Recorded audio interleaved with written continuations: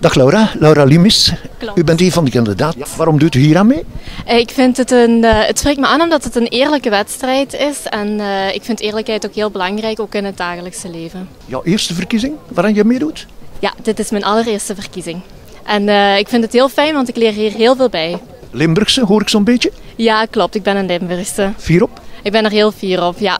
Wat doe je in het leven, Laura? Ik ben eh, nog een student in communicatiemanagement en eh, dit doe ik overgave.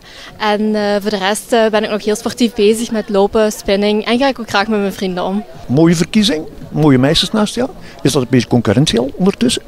Eh, het is helemaal nog geen concurrentie. Het is één leuke sfeer. Eh, iedereen doet zijn best op zijn manier. We appreciëren ook elkaar eh, hoe dat we zijn. En er is helemaal nog geen sprake van concurrentie. Wat moet dat u brengen op termijn, deze verkiezing? Ervaring of ja, Ik hoop eh, hier heel veel ervaring mee op te doen, ook voor mijn eh, studie.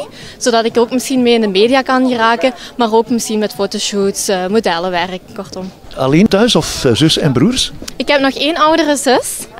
Ja, en daar ben ik wel trots op. Dat is een voorbeeld. En wat doet die dan?